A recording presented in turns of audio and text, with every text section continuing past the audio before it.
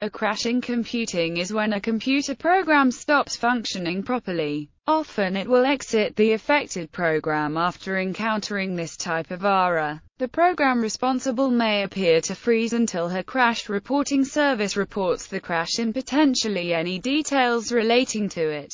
If the program is a critical part of the operating system, the entire computer may crash, often resulting in a kernel panic or fatal system error, or in rare cases, an unstable network. Many crashes are the result of single or multiple machine instructions running incorrectly. Typical causes are when the program counter is set to an incorrect address or a buffer overflow overwrites a portion of the affected program code due to an earlier bug. In either case, it is common for the CPU to attempt to access data or random memory values. Since all data values are possible to select but not always valid for the request, this often results in an illegal instruction exception. By chance, such data or random values could be valid instructions. The original program problem is considered as what caused the crash, but the actual fault may be an illegal instruction. The process of debugging such crashes is connecting the actual cause of the crash with the code that started the chain of events. This is often far from obvious, the original bug is usually perfectly valid code presented to the processor. In earlier personal computers,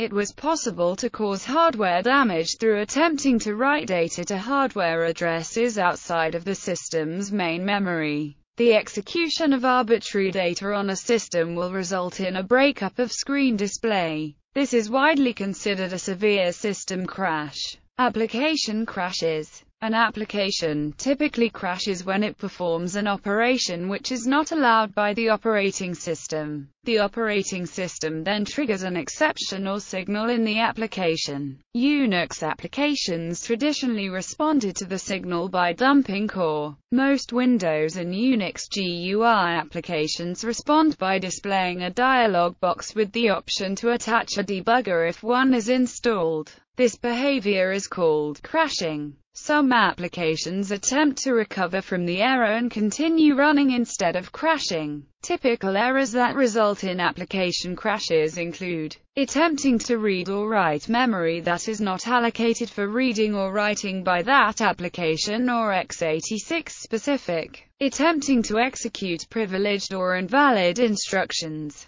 attempting to perform I.O. operations on hardware devices to which it does not have permission to access passing invalid arguments to system calls, attempting to access other system resources to which the application does not have permission to access, attempting to execute machine instructions with bad arguments, divide by zero, operations on denorms or NaN values, memory access to unaligned addresses, etc. Web server crashes. The software running the web server behind a website may crash rendering it inaccessible entirely or providing only an error message instead of normal content. For example, if a site is using an SQL database for a script and that SQL database server crashes, then PHP will display a connection error. Operating system crashes. An operating system crash commonly occurs when a hardware exception occurs that cannot be handled. Operating system crashes can also occur when internal sanity checking logic within the operating system detects that the operating system has lost